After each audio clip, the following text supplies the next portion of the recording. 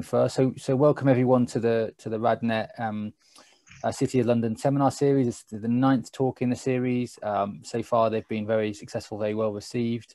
Um, thank you all for coming uh, today. Um, obviously, the aim of this seminar series is really to bring together people, you know, sort of cross-disciplinary um, way from sort of clinical and, and non-clinical backgrounds, really in the, the radiation space to to sort of understand a few key uh, sort of cutting edge topics and and some, some, and hear about some of the really exciting work that's going on globally. Uh, and so um, we're we're really happy to have uh, Jacob Scott, who's an associate professor of radiation oncology at the Cleveland Clinic, here to give his talk today. If I could just remind you all that the the meeting will be recorded, and uh, if you could mute your microphones uh, and turn off your cameras uh, while the talk is is going on. Um, but please do um, uh, you know, raise your hand um, sort of after the talk, um, and, and, you obviously you can ask questions. And if you've got questions you'd like to pose during the talk, please put them in the in the chat box, and either you can I'll call on you to to ask them yourself, or I can ask them on your behalf. Um, so my name is Crispin Hiley. I'm a clinical academic at at, uh, at UCL, and um, really excited uh, always to read uh, Jacob Scott. He's also very uh, um, you know active on on on sort of social media, definitely worth um, following. Um, Jacob's going to give us a talk today on uh, quantifying the biological effect of radiation with genomics, uh, or GARD, uh, and a path to personalized radiotherapy dose. Um, Jacob's one of these people who, always makes you feel quite boring. I, I had a very, you know, um, went straight from med school to, to working, whereas uh, Jacob came through uh, um, uh, working on the submarines for the US um, Navy and has a physics and engineering background and then got into into to medicine later on and he was did his training both at the, the, the sort of well-known math uh, oncology department at the Moffitt Cancer Centre, as, as well as doing his PhD in Oxford, uh, and is now an associate professor at uh, at the Cleveland Clinic. And uh, and I'll stop talking there, and Jacob, and, and let you let you um, talk to us about about your presentation. Thanks very much for agreeing to speak today. Cheers, Crispin. Thanks very much. Uh, I'm going to share screen and bear with me, everyone. We just figured out the sharing sound. So it's very important that I share sound for a number of reasons. And then also um, want to make sure, oops, so this happened last time as well. Hold on a second. Um, all right, can everyone, Crispin, is this the first slide? Uh, yes, that's the first slide, yeah. All right, cool. Um, Right. Thanks everyone for coming. Uh, I want to say a few. I'm going to have a couple of minutes of philosophy at the beginning of the talk because I have a um, I have the microphone, um, and I think there's some important things I want to say before I talk about science. One, um, please feel free to share anything you see today in the talk as widely as you like. Um, the point of us doing all this research is to help folks, and if the message doesn't reach uh, the world, then then then doesn't matter, does it? Uh, and I also want to have a couple of, of props in the background that I think are important. One, I have some toys here because I'm a bit of a fidgeter and an ADD type. So um, sometimes I lose my thread. And if I do, just put me back on. But that also means that um, I actually would love to be interrupted with questions. So if you do have a question, Crispin, if, if someone puts one in, feel free to interrupt me and ask.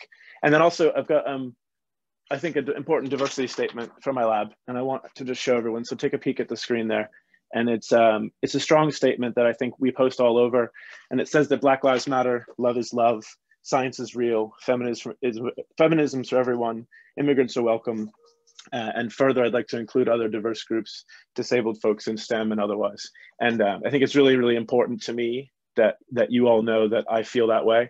Um, it's been a weird couple of years, and and I think that the the only way for us to get out of all this mess in the world is to is to accept each other for who we are and work together. And and that's why we're here. So just want to throw that out there to begin with. That's my philosophy and um, it's important to me. So anyway um, you can follow me there see things. And and now we're going to talk a little bit about how i think uh, we have a path forward that exists now to personalizing radiotherapy dosing. Uh, and in particular i'm going to talk about a series of papers uh, three of them um, in which we talk about a method by which to calculate what I'm calling a genomic dose or the genomically adjusted radiation dose, GARD and how to, how to think about using that going forward.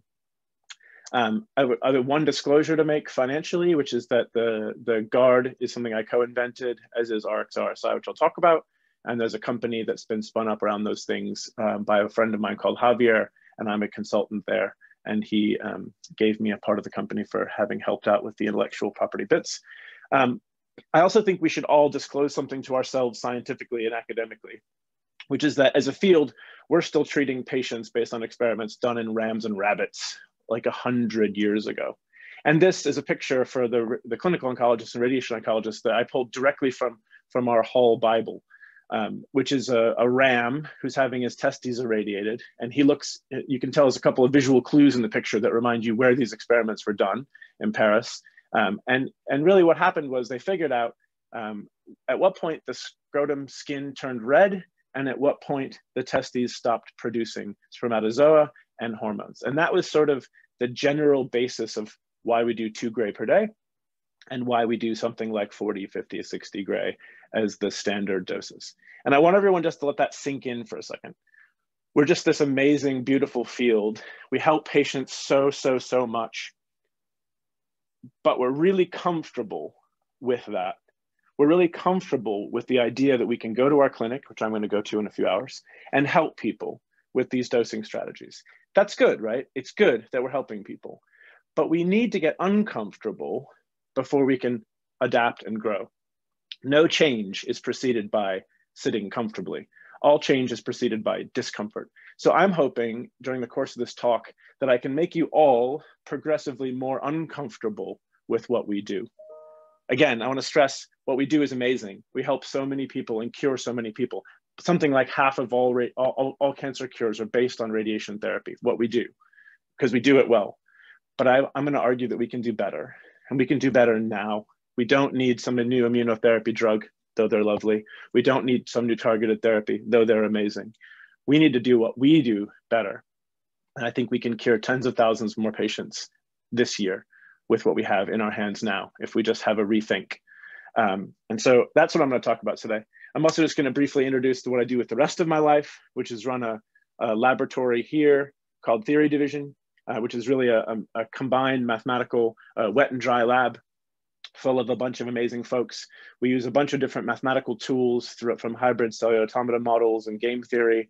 Um, and also we, we grow bugs and tumors in the lab and we, we do sequencing and we, we track things with cameras and, and fluorescent proteins to, to write down models to really think, think about why our therapies fail. Because all of our therapies do work and then they stop because evolution figures out a solution because it's smart. Um, and so we think about this all, all the time. And, and, my team, I want to put front and center because I think I can't do any of this without a group, group of smart folks around me. And this is a bit outdated. So there's some folks here that have moved on and graduated, and this is missing some folks who are here now. But but front and center is, is, a, is a toy, is, a, is a, a cartoon from the 80s when I was growing up called Voltron and this might seem silly, but um, it's important to me as well. I think that the, the central dogma of this cartoon was that there's these folks that lived on some planet somewhere, and it was often beset by by bad guys. Um, and and every once in a while, like when like so a low level bad guy would come to the planet, um, the the folks would get into one of these robot lions that you can maybe see in the pictures, and they would fly out and defeat the bad guy.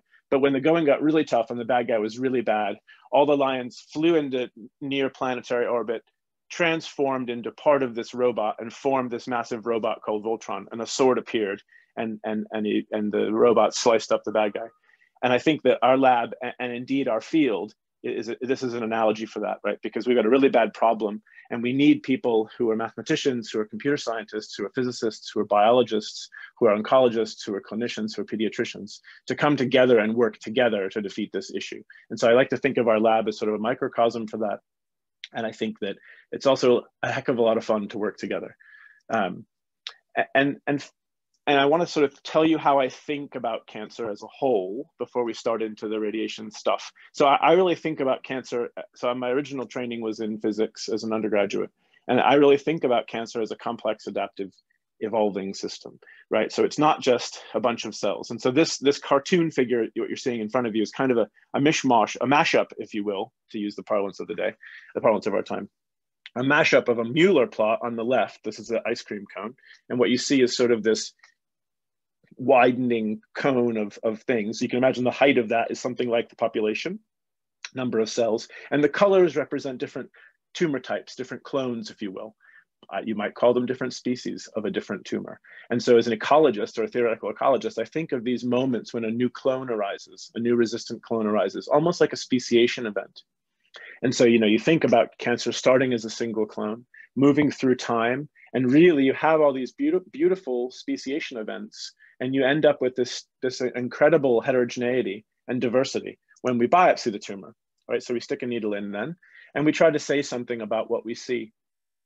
But really, I think the interesting stuff has already happened, and the, the things we need to think about are still going to happen. And so, with most of the time in the laboratory, I don't think about characterizing these individual alterations that we see. I'm a little bit afraid of that actually, right? Because because this, this is something like a lamppost problem. If you're if you stick a needle in something and you ask what's important, but what you're looking for is what other people have already told you might be important, you're sort of suffering from this fallacy of the lamppost, which is if you've lost your keys in a dark field and there's one lamppost in the very middle, you're most like most likely to look under the lamppost. But there's no reason a priori that your keys might be under the lamppost. The same is here. There's no reason a priori that EGFR or ALK could be the only causative mechanisms. As a matter of fact, we know these are only something like 5% of cancers that benefit from targeted therapies. So we're looking for this 5% of alterations when really there's this beautiful heterogeneity that, that could be causing the rest. And we're often blinding ourselves to it. So really in our lab, we, we think about these, these moments in evolutionary time. We try to think about what causes these branch points, these speciation events, and how we can maybe bias them in some way we think about what happens at the end. You know, there's this phenomenon between bats and birds. A shotgun or a net is a great way to treat both, but they're wildly genomically different. The same is true of many different cancer, cancer types. You might have cisplatin sensitivity to a bladder cancer and an anal cancer, and they're nothing alike genomically. And so, I, and radiation sensitivity certainly fits in there, and we'll talk about that. And then there's also this beautiful interplay between the species within the cancer ecosystem and thinking about these things in terms of these evolutionary processes and in terms of the ecological and evolutionary models that you could use to write them down is sort of where I spend most of my time and headspace. Um, and I, I, also just wanted to throw out one more philosophical point, which is that, you know, I, I've had a couple of good ideas in my life, but but none of them ever happened sitting at work staring at a screen. They all happened talking to people over a coffee or at the pub, walking in the woods. And so I think that we also suffer in our field a little bit the fallacy of productivity versus work. Um, and I think it's important to, to live to live your life and, and, and have a, a, free mind and and have some empty time as well, because I think that's when the, the real uh, insights can come. So anyways, so that, that's all what I do in my uh, non-radiation time. So, so what about right now? What, what am I gonna talk about today? how can we truly personalize radiation therapy with existing knowledge? So there's that XRT sensitivity I've written in down there. Which of these clones code for that and how can we think about that? So I'm going to talk today about some work I've done largely with Javier Torres Roca, but also with some students that I'll talk about over the course of the talk to really think about how to personalize radiation dosing now. And we're going to use a little bit of maths that's going to be uh, familiar to most of the clinical oncologists and radiobiologists of the room. And we're going to use some um, some gene expression, and we're going to use some um, statistics, some some uh, epidemiology and health statistics, and we're going to try to figure out what we can do to move forward. So um, we have largely been left out of this whole precision medicine era, which is a drag. Because, as you know, our medical oncology colleagues um, are making great strides, right? And so this all started with trastuzumab, and and now there's many many others, or you could argue it started with imatinib, but but now there's many sort of biology driven uh, rather than rather than cytotoxic therapies that are out there. And in particular, in cancer, we have Oncotype, we have MammaPrint, we have Decipher, we have a number of methods by which not just to look at mutation and targeted therapy, but also to look at sort of signaling state to understand what decisions we can make. But we don't have any of this in radiation therapy yet. There's a, there's a, we all have the sort of, we've seen Portos and a couple of ideas where we can say maybe you do or you, you would or wouldn't benefit from radiation therapy. But we don't have anything that really tells us about individual biology of a tumor and what to do when it comes to our radiation. But anyone who spent any time in a radiation oncology clinic has seen this picture, right? So these, these are actually the first three women I treated as an attending physician. Um, and I, I do sarcoma, with my clinical time. And these are literally the first three women I treated. They all three had right thigh undifferentiated pleomorphic sarcomas. They all three got postoperative radiation therapy to 66 gray. And they all three had wildly different normal tissue responses. And everyone, if you spent a month being a clinical clinician in radiation oncology, has, has seen has seen this, has seen a heterogeneity in normal tissue response. And so we all know deep down that tumors and people respond wildly differently to the same doses of radiation. Yet, we give everyone the same dose, and we're very comfortable with that. I want this picture to sink in, and I want you to start becoming uncomfortable. It's obvious that these women didn't need the same dose of radiation, but I had no idea which was which going forward. As a matter of fact, here I had an Irish woman a Swedish woman and an African American woman.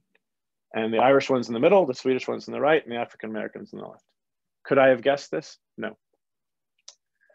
Um, so, so some of you in the audience might be complaining that, that radiation is personalized. And I will say that medical physics has done an absolutely incredible job over the years. And I have a fun story about this picture. So I gave this, I gave a, a version of this talk um, a few years ago in, at Peter MacCallum in, in Melbourne.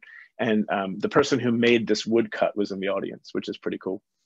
But, but really over the years, even since I was a registrar 10, 10 years ago, not as, as my students call it, way back when, um, even since then, we've made, we've made drastic improvements, right? And I'm not even showing a VMAT plan here. So anatomic personalization is something we've done an incredibly good job of. We can now deliver dose in an incredibly precise way, sorry, in an incredibly accurate way anatomically sparing normal tissues in ways we never were able to do, hypofractionating in ways we could never have imagined because of normal tissue constraints. And it's really an amazing thing we've managed to do. But, the, but to date, personalized radiation has only meant anatomic personalization, the shape of our dose, not the dose. And so now I'm going to show you um, who I think is the greatest superhero in our field. This is uh, Zarina, the pirate fairy, on the left, and I'm going to show you about a 15 second video.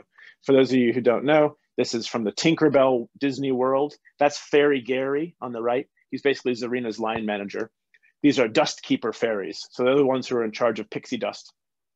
And Zarina, I like to think of myself a lot like Zarina. She's sort of a personal hero of mine.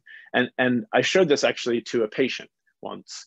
Um, I had an MIT electrical engineer come in who I was treating post-op, and, and he asked me, or actually I was treating him pre-op he was he was asking me why I was going to give him 25 fractions of two gray each.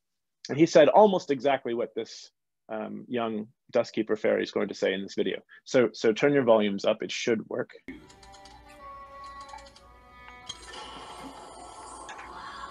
Now, oh, shucks.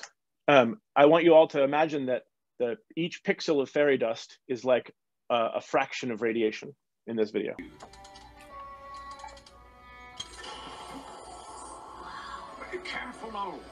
After last time, I'm sure I don't have to remind you just how potent and powerful... No touch. I promise. At a girl. All right, then. Exactly 26 specs. But why 26? And here we go. Why not 25? What would happen if we put in, say, 27? We put in 26. But why? Ah, Zarina, you're the most inquisitive fairy I've ever known. Correction, it's a tie. Let's just say you're the Tinkerbell of Dustkeepers. So why do you say it like it's a bad thing?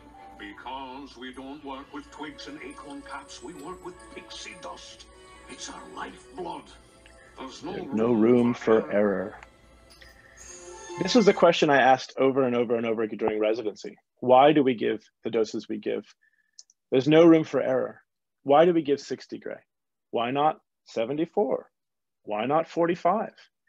So there's actually a wonderful provocative piece that came out of Peter Mac as well uh, a couple of years ago, where they published a long-term series of patients uh, with stage 3B lung cancers who were treated palliatively with 20 and 5, who were cured uh, with their radiation therapy alone. And so, you know, I think all of us know this, right? All of us have had the patient whose, whose head and neck cancers melted away after two weeks. And all of us have had the patient who the same head and neck cancer is still there after 70. And so I think this is something again, it, it's it's in our it's in our DNA. sorry, uh, unintended pun. It, it's it's in it's in our gestalt that we know that these differences exist. But if we can't identify them, of course, we can't start making dose up, right? We can't just be like Zarina and randomly give a fraction less or a fraction more. We have to back it up with something. And so right now we're sort of blind to this concept. And so it's a lot like in the old in the old days when we used to give 10 by 10 boxes APPA to prostate cancer because we knew that almost all the prostates would fit in that 10 by 10 field. But the minute you take a CT scan, you can see the prostate. All of a sudden, it's ridiculous to give a 10 by 10 field. I'm going to try to argue during the course of this talk that we now can see the heterogeneity in sensitivity that we need. And we now can start adapting to that. So what is it about dose that's been so elusive, right? What, what if we could use genomics to identify those who needed more or less? And so uh, this is a fun story too. My, my, second week of registrar training, this paper came out. And that, that's my friend Javier Torres Roca, friend and colleague, who wrote a series of papers that were back to back in the Red Journal. And they, like I said, they came out my second week of registrar training. And dutifully, I took the journal. We don't do that anymore, but I took the journal that year and I put it in my bag and actually took a vacation. It was just after the intern year in America, which is a difficult year. My wife and I just moved across the country, so we took a, a, vacation, and I took the the journal with me, and and I went away and I read these this paper, and, and there was another one back to back with it from him, and and it said that there was now a biomarker of radiation sensitivity called the radiation sensitivity index. And I came back from my vacation and I came to the beginning of my registrar training and thought, right, here we go, personalized radiation well, that was 2009, and it's still not a reality, and it's frustrating. Um, but I'm hoping we're getting closer. So, so what, so what is RSI? I'm not going to belabor it overly much, but basically Javier had this idea that he could use systems biology to go from gene expression to radiosensitivity. And so what he did was he basically took a large series of cell lines that already had expression. He did SF2 on them. So he did the classic experiment. He gave them two gray and measured their surviving fraction. And then he came down and he figured out that there was 10 genes plus a mathematical model. So you rank the genes, you multiply them by these constants, and you get a number. And he didn't say SF2 equals this. He said RSI equals this. But what it really is is SF2. And I think that's important for a reason that I'll get to in a few minutes. But I don't want to belabor what RSI is or what's in RSI because I don't really care. What RSI is in my mind is a series, it's a series of canaries in the coal mine of the overall signaling network of a person's cancer. It isn't that these are necessarily causative genes although he has knocked a few out and shown sensitivities changes, has changed. But what these are is these are genes that give you information about how the entire larger signaling network is working. And it gives you ideas about many, possibly infinitely many, attractor states which can code for radiation sensitivity or resistance. And that's important because I'm not interested in the biological mechanism here, but what I am interested in is, is in the veracity of this model in capturing a phenotype that I care about, which is radiation sensitivity.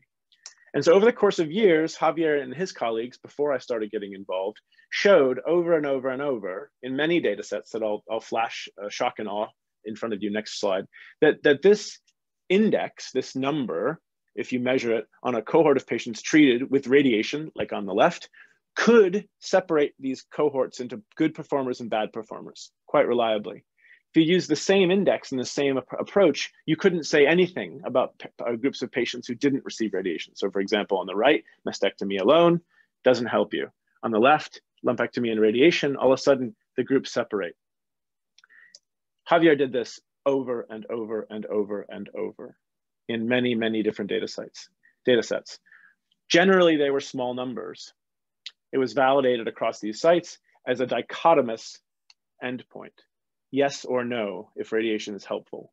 Now, the problem was no one really wants to know that, right? So let's say you have a glioma patient who comes in, has had a good resection. You do this test on them. The test says that they're not going to respond well to radiation. What are you going to offer them? Radiation, right? No one wants to know that it's less or more helpful. But what we realized when we started looking at a much larger cohort, we looked at about 10,000, uh, around 10,000 patients. We realized that it's not just this dichotomous thing, yes or no. It's really this sort of heterogeneous measure, which for each disease site or cancer type has within it an amazing, beautiful heterogeneity. So take, for example, brain on the top. And so what you see, the, you'll see a, a series of violin plots, which are all many, many hundreds of patients per disease type. And you see a violin within that that shows you the distribution and how many of them and what their RSI is. And with that, the black dot in the middle that you're seeing is the rank of the median. So the median glioma patient is more radiation resistant than the median thyroid cancer patient is more resistant than the median soft tissue sarcoma patient, for example. And so this sort of follows what we know as clinicians. We know that it follows this general path. But what you see also is that there's a whole bunch of glioma patients who have more sensitive tumors than many of the patients with sarcoma or even skin or pancreas. And so there is this heterogeneity within disease that's really important. And this is really the aha moment that led us to the first paper where we describe GARD. And this is sort of where I came in to start um, helping. And so this, this idea that the utility of a yes-no indicator is really limited, let's go back to basics. I had actually just come back to the US to finish my registrar training, and I had just come from Oxford and had been doing a bunch of uh, rad bio stuff. And, and, so I really just sat down with Javier and said, Let, let's go back to the very beginning. So I hope you all recall the linear quadratic equation, which is this SF equation there, which is really just this exponential curve, which talks about how um, a given dose D of radiation, given in n fractions, affects the overall number of, of tumor cells. And it's, it's given by this exponential curve. And of course, we're all familiar with the alpha and beta, which are these biological, uh, these are phenomenological parameters that govern radiation response. We tell stories to our trainees about how these are biological parameters, but they're really phenomenological ones. That said, I don't care if they truly represent biology as long as they tell me how to help. If mathematical models are all wrong, but some are useful. And I would argue that, that this has been a useful equation for a long time. But if you now remember the experiments that Javier did, he was really looking at uh, RSI is truly an SF2 experiment. So if you plug RSI in for surviving fraction, and you plug in one for fractions and two for gray, that's exactly his experiment. So now you can rearrange this equation and solve for alpha, and you end up with what we call the, the genomic alpha. And you take the log of the score and you mess around with it in some constants, and you can actually solve for this alpha. So now if you have a patient-specific alpha, you can now ask how this transmute the dose that you give. Now, of course, there's a caveat here, which is we're assuming beta is constant. Um, it's a, it's an assumption. It's it's not perfect, but for if as long as we're near to standard fractionation, it's probably okay. This is a, a point for further work that we'll talk about later. But now what's crazy is if you give two gray, so this is what happens if you give two gray. So what happens to that dose? Well, it, it has this massive range. The effect of the dose you're giving, the effect of two gray isn't the same from patient to patient. Two gray is not two gray isn't two gray. And so as a matter of fact, if you take a peek here, this is that curve I just showed you. So two gray can vary from a GARD of something like almost nothing up to three. It can vary over two orders of magnitude for the same exact dose. And so each time we think we're treating patients the same, we're not. And so this is just a scale of different RSIs. So you can imagine if you knew your patient's RSI and you knew how much dose you were giving, you could figure out the effect and that's exactly what we want to be trying to model is really thinking about where along this, this, this uh, continuum are you treating your patient? So let's say you wanted to give a patient a, two units of GARD. And I'm going to argue in the course of this talk that we should start thinking about our doses in units of GARD. Gray are what come out of the machine. And you can measure, the physicists measure beautifully, perfectly, within tiny fractions of percents. GARD is the unit of effect within the patient. And I would argue that that's what matters. And of course, it's dependent upon the dose that comes out. And so being, being uh, precise and accurate with the dose is still paramount. But if we don't know how that's affecting our patient, we just don't know what we're giving. So you could be within 1% on what you deliver. You could be within 1% of what comes out of the machine, but you could be off by 500% on what you think you're delivering. I hope that makes everyone a little bit uncomfortable because it's really hard for me to actually practice now, knowing that. I can't unsee that. So, so let's look at an example. Let's take a, a, cohort of patients. This is previously published in Clinical Cancer Research 2012. Um, and on the left, we have a distribution of the actual patients in that trial who uh, have their patient had gene expression measured. And this is a distribution of RSI. Now, if you use this equation that I've shown you, and you use the uh, n equals 1, d equals 2, and beta equals 0.05, you can then transform this into a distribution of alphas. So again, this is literally just the patients who were treated. And so now we can ask the question, if these patients with these alphas were given 25 fractions of two gray each, which they were, we can now figure out how much, how many units of gray, or sorry, how many units of GARD each patient received. And now we've gone from a situation where all the patients got 50 gray, but all the patients didn't receive the same effect. As a matter of fact, we have this distribution of effects we see. And the question we can then ask is how this translates into outcome. And what we found is that it actually strongly associates individually. But each of these individual cohorts was actually quite small when it came to understanding. And so the power here was difficult. So we still had to really look at cut points. But now we have, instead of just a cut point, we have the ability to alter the effect you get by giving more or less radiation therapy. And so um, we did a, a, quick transformation in the rest of this paper from Lancet Oncology a few years ago.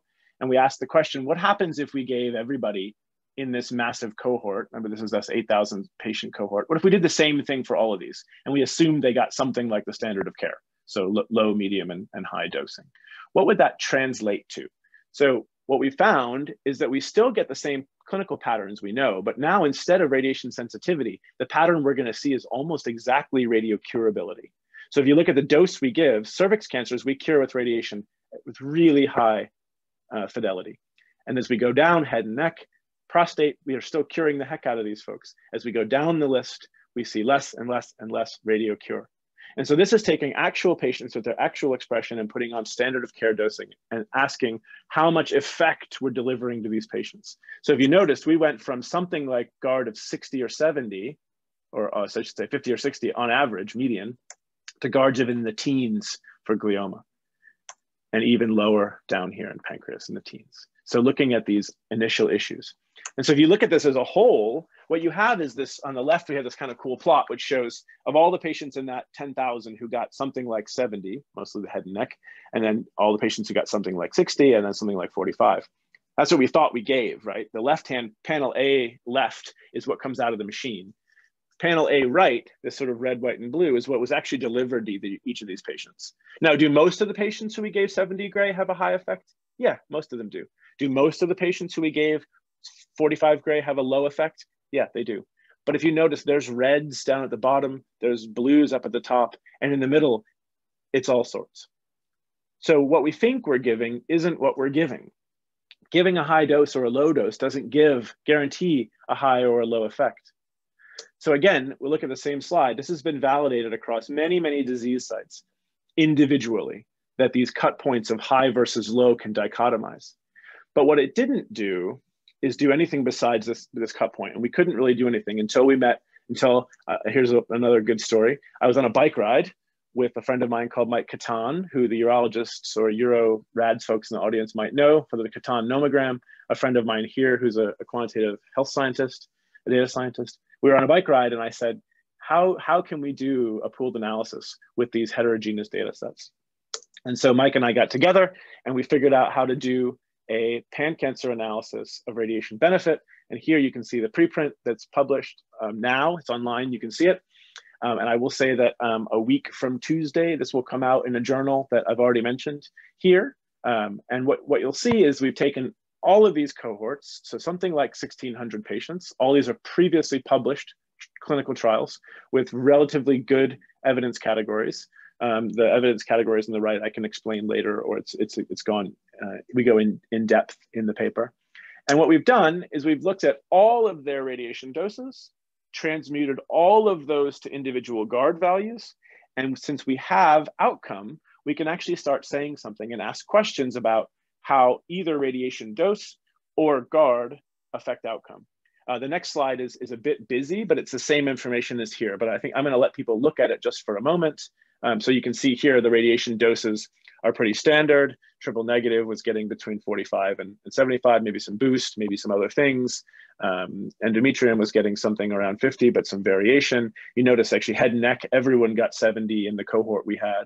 Melanoma, almost everyone got 60 with a few getting slightly different dosing. But these are actual cohorts of previously treated patients. We didn't treat them who were, who were gathered. And this is, again, this is the same information, but it's kind of a different way of looking at it. You can really see the RT dose. You can see the patients sort of stacking up where we expect them, head and neck in orange over by 70.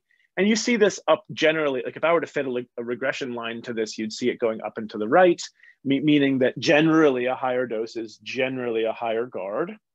But there are certainly patients above and below who we thought we gave more to, who we gave less to, and vice versa. And so again, what this is revealing, this is revealing this, this tight dosing window. Look at breast, for example, between 50 and 75. And the top, the top breast, not TNBC. And then you look within GARD and it goes from almost zero to 75. So orders of magnitude difference in heterogeneity. And what we found, if we did a Cox analysis for all of these, was that GARD, so if you, I'm gonna please concentrate on the, the black um, arrow, the black uh, trees in this forest plot. And this is a pooled analysis. And what you see is that for both survival, the circles, and recurrence, the squares, GARD, the patient's GARD score, how many units of GARD they received, is, is significantly associated with outcome. The radiation dose on the bottom, which we transmitted to EQD2 because a few patients didn't get two gray, they got something like 1.8. There's no statistical association with the doses they got in either outcome. As a matter of fact, it's just on the, it's basically guessing. And if you do a sham GARD, which is assuming the standard of care for patients who didn't get radiation, there's no relationship. So for patients who didn't get radiation, this is telling you nothing. And physical radiation dose, what's coming out of the machine for these patients is not associated with outcome. But when you look at the heterogeneity that the genomics of an individual patient's tumor has, all of a sudden we have the ability to translate that into outcome. So for me, the next picture is a statistical version of that. So these blue lines show you uh, statistically, statistically significant differences as you increase. So for each increased unit of GARD, you have a decreased relative hazard for both recurrence and survival. And the p-values are very small, 001, 002. Actually, I think, there, I think this is actually an older version. It's even smaller than that. Um, and then if you look at patients who didn't get radiation, there's no association at all.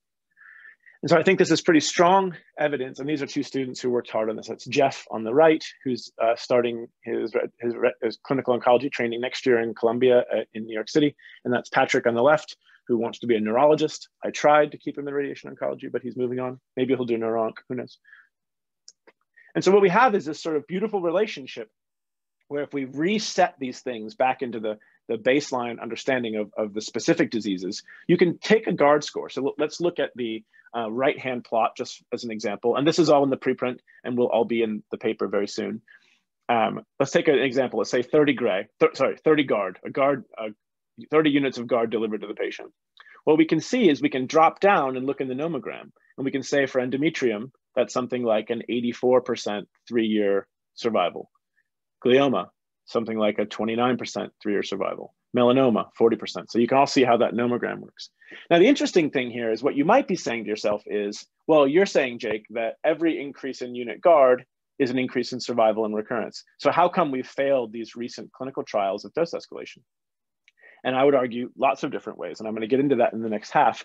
But, but I think the important takeaway here is that for this is for any patient, but for a given patient, if we remember, we go back a bit, it might be really hard to get one extra unit of GARD.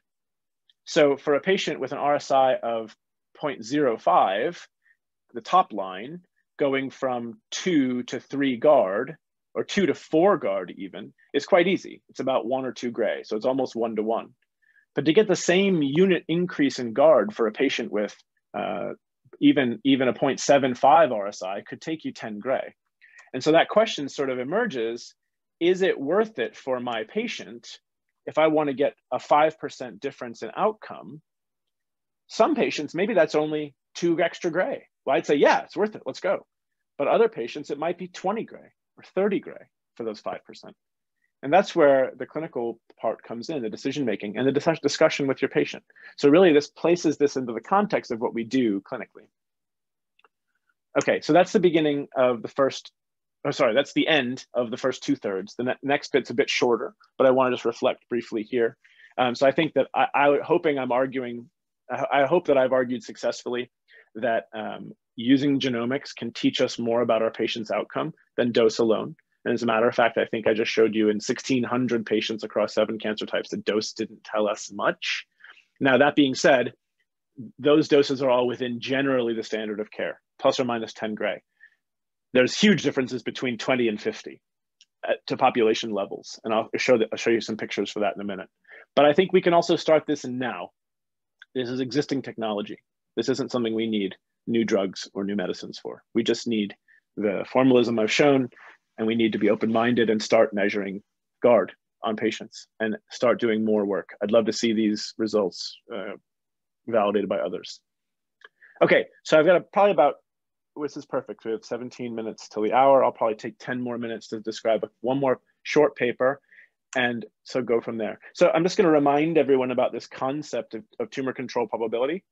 And I wanna bring up what I think is a fallacy in the teaching that we do. So when we talk about tumor control probability and the maths within Hall, we have, these are cells in a dish, right? So we have surviving fraction. And if you remember, you take e to the minus n times e to the minus n. So you end up with a sort of double x, double negative exponential. And that sort of beautifully falls into the sigmoid curve that we see. And then we go to the clinics and we know that over time, both our NTCP and our TCP curves also look like sigmoid curves. And so we say, okay, sigmoid, sigmoid must be the same thing. I'm going to argue that these are actually different mechanisms at work. And I think I'll show you why. So let, me remind you about this aha moment we had where we had this beautiful heterogeneity in, in RSI and subsequently GARD. And so we have this heterogeneous, almost always bimodal, if you look, almost every disease here looks like two peaks. I'm going to draw these same data in a different way on the next slide. So there's this exact same data also looks like this. So if you look through, they all have these, almost all of them have these two spikes. But, but let's take let's take a couple of these and just look at some some interesting mathematical representations of these. So so let's look at glioma. Um, if this was a live audience, I would pick on someone and say, what does this distribution look like? And I'll just be Socratic about it. Um, this looks to me something like a normal distribution. Now that makes sense, right? Like almost every distrib distribution in biology is something like a sigmoid. So what does a sigmoid look like? It looks some, oh, sorry, not sigmoid, a normal distribution, a Gaussian. Looks something like this, but of course you can have different kinds.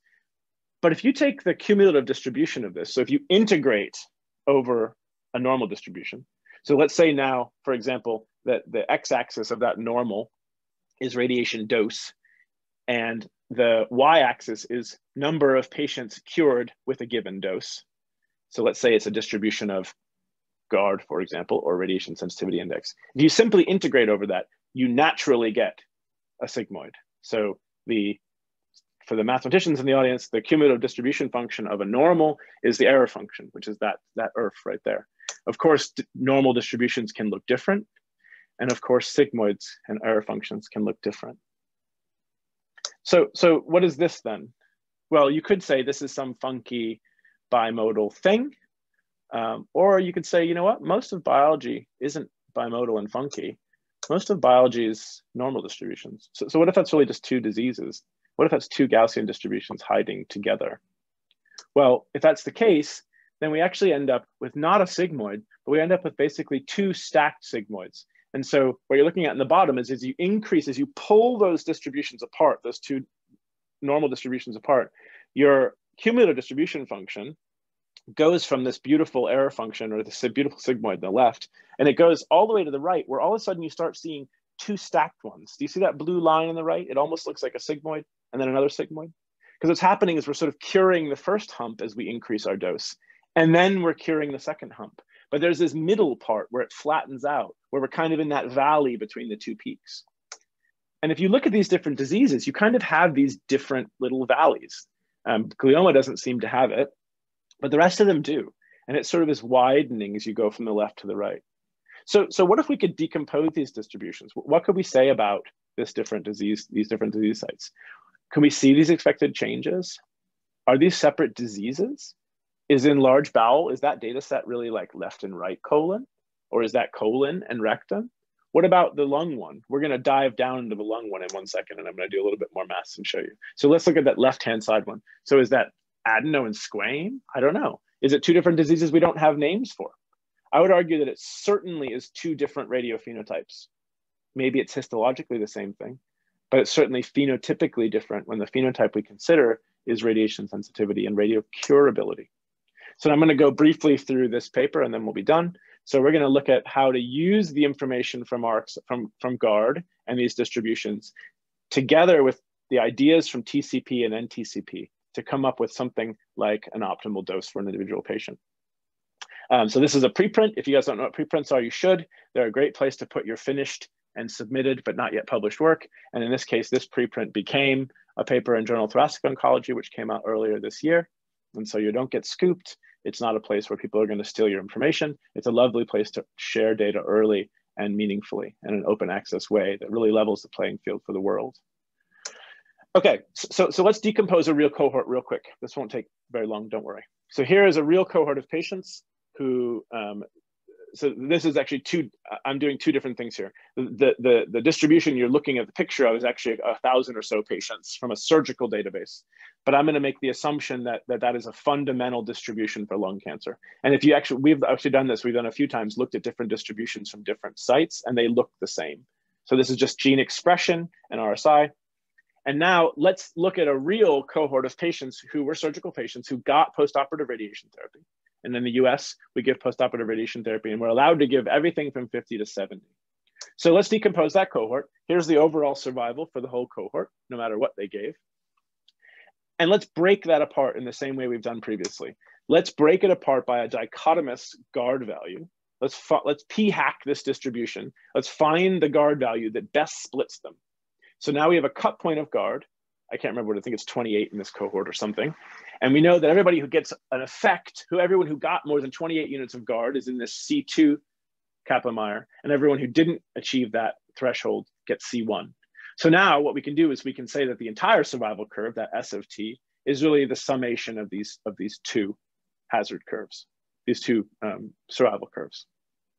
So what we can do if we, if we know this now is we can say, okay, well, everybody in the C2 curve, C2 group got enough dose or maybe more than enough, right? So if the cutoff's 28, some of those patients actually got much more. And the patients who got were in the lower group didn't get enough dose. Maybe they got way too much, way too little, or maybe they just got not enough. So now if we plot that and we say, okay, plus or minus 10%, good enough. That blue line in the middle is the dose, is that GARD of 28. Where do the patients actually fall out?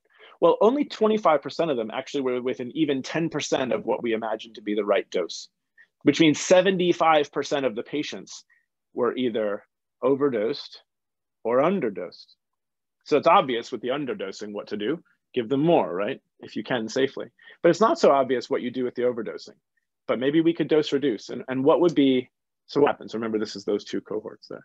So what happens if we try to combine a model of tumor control and tissue complication probability? So we're all interested in 0617. So let's look at lung complications. So what are the driving complications in lung cancer? The driving complications are pneumonitis, esophagitis, and major cardiac events. And the good news is, is that people, uh, Sarah Darby and her crew from Oxford have done beautiful work on NTCP curves looking at these events with, from breast cancer mostly. So we have per gray relationships for bad outcomes for these diseases. So if we know someone got 10 gray too much, we can now transmute that into a complication probability. And we can write down as a pen, what we call the penalized local control or a penalized survival curve. So now we take your baseline survival and then we penalize that by these grade three or worse events. If you do that and you run a little clinical trial and you model it after 0617, we actually get the same results. We get equipoise between the groups or even maybe a little worse. And this is a beautiful paper from Jeff. And so what we also found is this is the real distribution on the left of these lung patients, and there's that valley. 60 and 74 actually fall on either end of that valley. So we would have predicted, and we didn't, this is not trained or anything, this just came straight from the data. So going from 60, which we've empirically found over decades to be a great dose for lung cancer, we catch almost everyone in that first cohort, in that first mode. But 74 doesn't even start to catch any of the second mode. So we could have predicted a priori that you would have no benefit from, no statistical benefit from 74. And so basically you're giving almost no one a chance at doing better, but you're giving everyone at more toxicity. So imagine the poor patient who only needed 40 gray, who you gave 74 to. These are the patients who are going to be driving the outcomes here. So what we did, if you take your phone and point it at that little QR code in the corner, you can pull this software up and play with it yourself. So this is a co some code we wrote. So this is how I imagine radiation oncology is going to go in the future. I'm hoping. This is my, my dream. What you'll do is you'll plug in a patient's RSI. You'll order that from a, a company maybe, or, or you'll sequence it yourself. And you'll plug it in on that slider bar on the upper left. So you say my patient's RSI in this example is 0.2, and I'm planning to give 60 gray. Now what you can do is you can actually plug in the actual plan parameters. So how much is the heart getting? How much is the lung getting? How much is the esophagus getting? And what we now do is we can now predict your exact one, two, and five year probabilities. And you can now play with the dose. You can give a little more. So in this case, 60 gray was, uh, was enough. That's the red line in that histogram on the left. This patient only needed something like 40. But if you go to 74, you actually are making this patient harmed. So if you look at that survival curve, it actually goes down with more dose in this example. But now what if that patient had a was more radio resistant, an RSI of 0.4, and you only gave them 60? Well, now their survival's gone to pot because they haven't gotten enough. The same patient going to 74 now has an excellent outcome. Obviously, I've cherry picked some examples here, but this is sort of how I imagine things could go in the future. So please, if you want, or you can find this online as well. Um, but that's that's sort of the, where I'm going to stop. I think this is where the future. I'd like to see the future lies. Um, the fundamental distributions I think exist. We are uh, one human population. Are there slightly different distributions for slightly different uh, ethnicities? Maybe I don't know, but I would argue that we need to start measuring it to find out. And every time we measure and every time we think about this, learn. But I do think it's going to require rethinking our whole job from the ground up. And I'm too old to think about new things. So for the registrars in the group, that's your job. Once we start measuring this, once we start seeing what these distributions look like, we can start reacting and learning and going forward. Just like when we started first, when just like we first started CAT scanning people, everybody knew prostates weren't all the same size before we started using the CT scanner, but we couldn't do anything about it. Once we could do the CT scan, we could see it and we could adapt. Everybody, everyone in this audience knows that patients don't all need the same dose, but we couldn't see it. But now we can. And so I'd like to argue that we should we should adapt to that. Anyway, thanks everyone for listening. That, that's my um, lab or a big, big portion of my lab on the left at a recent retreat we had.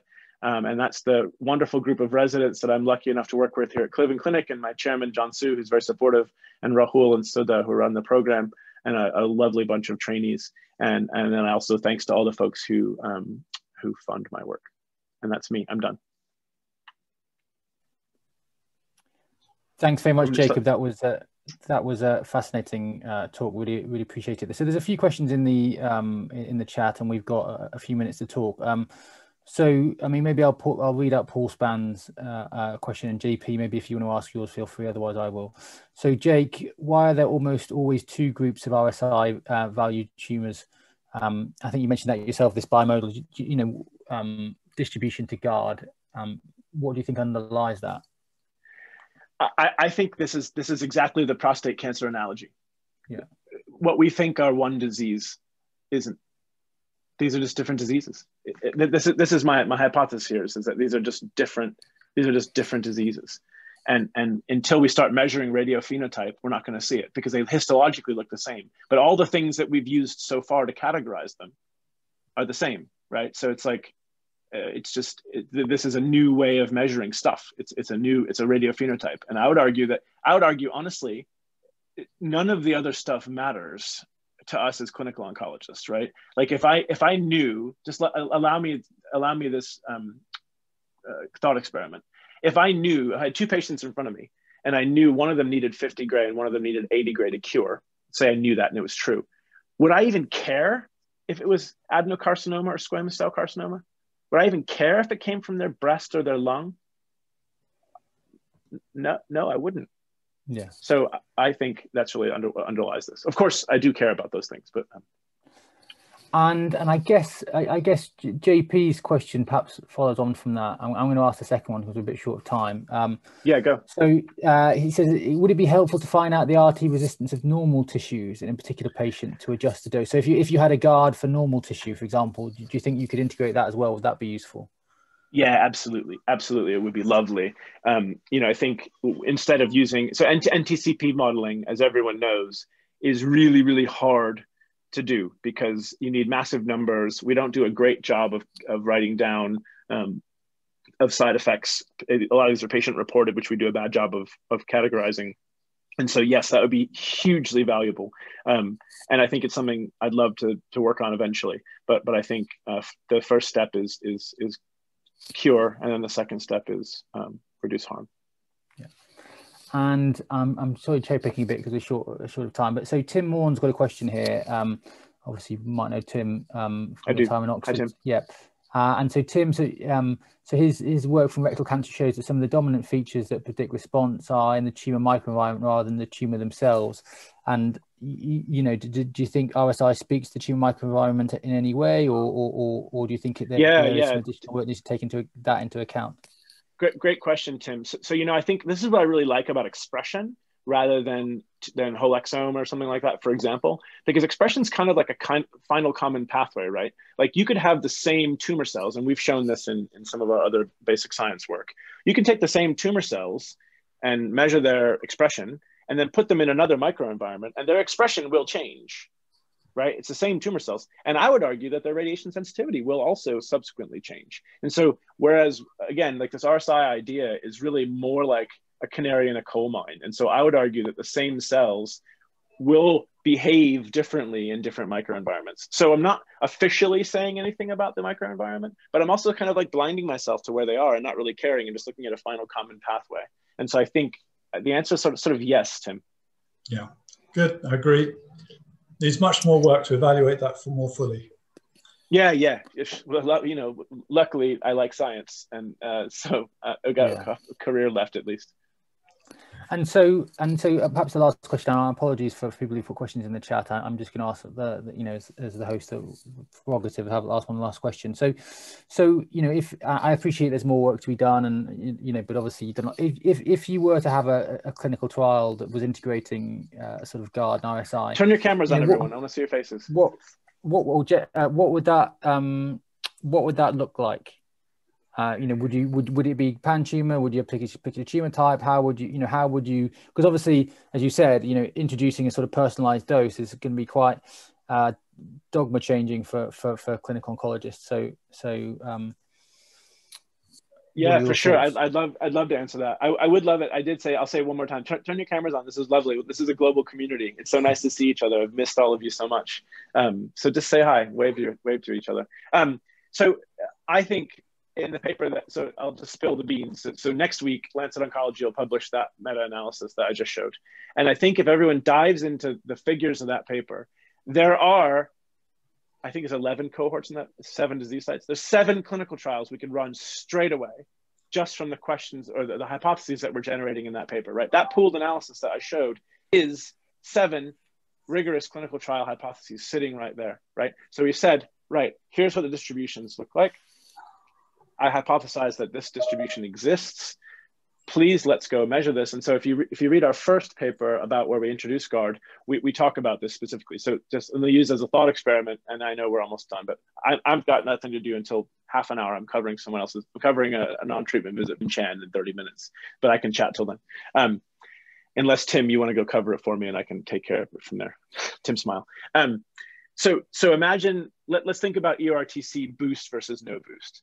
So this is an incredibly important trial that, that many of us know um, that, that took, so uh, this is some interesting facts. It took 17 years for us to go from inception of boost, no boost to the answer. And it took something on the order of thousands of women. Um, what you can do instead of stratifying blindly to high versus low dose or, or, or 617, instead of stratifying blindly, what you would do is you would measure people's RSI and GARD or RSI, calculate the GARD, and then stratify them based on that. And so you can either do a two by two design where you give standard to everyone and then you take high versus low, or you could literally just put everyone into a low versus high group. I am not going to suggest that we start doing gray by gray for everybody because I don't think that one, the precision exists. But I think let's just think about doing 0617 again, for example. If we were able to say, here's a what we predict to be a relatively sensitive patient, let's give them all 60, and a relatively resistant patient, let's give them all 74. That trial, you could do the power analysis. It, you end up with like needing something like a quarter of the number of patients that you had before, and you're also able to finish these trials. So we predict we wrote we did this power analysis for, for boost versus no boost, and we predicted you'd need 250 women, and you could do the trial in two years instead of something like 10,000 and a decade and a half. And so I think the cool thing is that yes, there's a ton of work to do that involves trials, but I think we can do it faster and I think we can do it cheaper. And when the most important resource we have is the patients of ours who enroll themselves selflessly in our trials is at stake, I think we owe it to them to be doing these trials efficiently and thoughtfully. So anyway, yeah, I'd love to see this. I'd love to help anybody with who would love to talk about this. Yeah, and, and patients are obviously a very valuable resource. Um, they're the, they're the most valuable resource by far and away. We need to use them wisely. So look, I, am going to just obviously we can stay on. Uh, as Jamie, I see you've got a question. I'll let you ask a question, but I'm just going to just going to um, um, to thank everyone uh, who's coming in, and, and if we could all just thank Jacob for his great talk, uh, we really appreciate that. So thank you. Um, if there is any what so people who need to go, please go. Um, uh, Jamie, I don't know if you're still here. Maybe you've had to go to another meeting. Uh, if anyone's got any other questions, do do feel free to ask. Uh, um, Jacob had had time um, to has a little bit of time. He said, "Anne, I think you, Annie, you've got a question. Do you want to ask? Do you want to unmute yourself and ask your question?" Sorry, yeah, I'll go ahead. Thank you. That was a that was a fantastic talk and great to see hi, you. Anne. Um, hi. So I'm I'm really sorry if I missed that um, in the beginning of the talk but how much of that RSI is tumor specific and how much of it is, I don't know, sorry, I'm not a biologist, but it's a germline expression. So are, are you asking? Um... So basically, how much of that uh, does that express a general patient radiosensitivity that might extend to mm. the hmm. normal tissue rather than just something tumor specific? Yeah, I, I don't know. I don't know, and and I, and I would love I would love to know. Um, I think that there's a really uh, I, I, think it's an incredibly important question, and and one of the hard parts is that studying radiosensitivity of normal tissue in, in the lab is incredibly hard, and mm. so you're sort of because the normal tissues just don't respond in the same way, and our assays don't really work as well, and so this is a really hard thing that kind of need trial results to look at, and so I, what I'd love to do is answer that question the first time we run a trial of this, right? Um, and so I, I, I wish I knew. Sorry. no, that's good. I'm just thinking like maybe actually your lung cancer or head and neck, where we're already right at the edge of our therapeutic window with our current doses for many patients, are not the first place we would want to test the GARD if we're not certain that it doesn't also, you know, tell you something about the normal tissue sensitivity. You might actually want to go for another patient population. Yeah, no, you're absolutely right. So, so I was in um, Belgium a few years ago at the EORTC headquarters for a, a, small meeting they had, and actually we had like a, a, two-day workshop about this, and we, we actually picked rectal as maybe the first place to start. And I know that's a, uh, something you've worked on a fair bit, so uh, I'd I'd love to chat about it. I think there's a really cool opportunity, especially in the neoadjuvant setting, to learn some of these um, correlates uh, in, in a really fast and smart way, right? Like especially if someone's having their their tumor out anyway, we can we can do path CR response rates and we can look at tissue correlates. So I think I think you're absolutely right. And and you know if you notice actually rectal's not in our pooled analysis either because we. Just... I, I, did notice. I mean, obviously that rectal is on my mind, but I was thinking there must must yeah. be other settings as well. But no, absolutely, yeah. and it is something we should have a chat about. Uh, there are yeah, so, there will be um, um, there will be material from dose escalation randomized trials available at some point in the future. Lovely, and, and that's really uh, quite important. So we, it's very, there's very little we can do with trials uh, of, of homogeneous dosing, but we can start saying a lot with uh, um, when the dose changes. Jamie, do you want to um, ask a question? So, so Jamie Dean's a, a you know computational uh, biologist. I know Jamie. Said, uh, yeah, hi Jake, good to see you. Hey. Um, yeah, sorry, my internet's a bit sketchy. Um, so, have you tried in your your latest meta-analysis doing a a Cox regression including both the physical dose and GARD? Yes, uh, and, and then in particular, so so, so uh, we, we also have done a formal interaction analysis um, about whether or not radiation was included or not, and um, GARD pops out. Um, so in the survival analysis, GARD is uh, significant. The, the Wald statistic is highly significant. Um, and in the recurrence analysis, it's not, um, which is an interesting point. And, and then if we, we ended up doing some sort of clever uh, cubic splines, sort of nonlinear piecewise analysis. And um, it, what I think is happening, I, am going to go ahead and hypothesize that um, that it still matters for local recurrence. Um, but what happened was there's so few events in the low GARD range that, that it kind of mushes the statistics up. So if you do a nonlinear analysis, you'll see that once you start having a meaningful effect, sorry, sorry it's the other way around. There's, there's so few non-recurrences in the low dose range that it, it uh-huh. screws up the maths. But once you have a meaningful effect, it becomes significant again. So it, it it's there, yeah. Okay, and just I think I think in the pooled analysis, P is like 06 or something frustrating. Yeah, I guess what I'd hope to see if you wanted to personalize dose based off of this is that when you do a combined regression, including physical dose and GARD, that you no longer see an association between physical dose and outcome. Otherwise, yes. GARD isn't explaining all of the dose response relationship. And so I think it's a bit risky to try and personalize dose in that way. Yeah, yeah, and also go for it. So all the data for that Hill paper are sitting on GitHub. You could go do it right now. You could do it fast enough that you can answer the question for us before I go off to clinic. Great, thanks a lot. Yeah, Jamie, thanks. Thanks, Jamie. And and Sean, uh, do you introduce, introduce yourself and, and ask a question? Hi, Jacob. Yeah, great talk. Thanks. I'm Sean O'Cathail. I'm a clinical oncologist and a senior lecturer here in Glasgow. Um, nice to meet you. Cheers. Uh, I just had a quick question. I, I, think you mentioned it in your talk about the beta um, and how it's always treated as a constant. And I think you said you'd come back to it, but I, I, maybe I missed it. I mean, uh, is there some? I mean, obviously, the received wisdom in classical radiobiology is that you know it is um, not a constant. So, at some stage, do you think you're going to start working on how you estimate the beta value yeah. as well as alpha, or do you think alpha is enough to be able to start working on this as a, a clinical tool? Uh, I think the answer to your questions is yes. So I think alpha is enough to start using it as a clinical tool. Um, and, and, also, so we actually have a paper a couple years ago that uh, Kamran Ahmed is the first author of, in, also in JTO, where we used GARD to look at um, lung and liver metastases. And uh, sort of like BED, you know, th- th- they're both monotone, right? So, so no matter what you call beta, the relationship between dose and, and GARD is monotone in RSI. And so uh, at some point, that qualitative relationship is not going to change. However, it's going to change a lot when it comes to like trying to nail the, the specific dose you need uh, based on someone's beta. And it's also going to change a lot when you start increasing like basically you know once once beta d is much bigger than alpha you know you're basically it's a it's a competing thing right? So basically who's who's who's dominant? So low low dose for fraction alpha is more important but a high dose for we all know beta is more important. So so i think one, if we're talking about, and I'm always very careful to say this in, in the papers we write, I'm quite confident near standard fractionation. I still think, and so Catharine West um, uh, tweeted this recently, which is cool. I love Catherine; she's so clever, and she's I've been such a fanboy of hers for so long.